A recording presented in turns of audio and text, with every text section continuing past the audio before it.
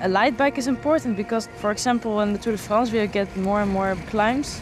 Then it's so nice if you have a light bike because you don't want to bring all those kilograms extra up a Tourmalet, for example. You want to be as light as possible, of course. If I go on a big climb, then I already throw my bottles away. So if you have a light bike like this, then you can bring a bit more water for yourself. That's good.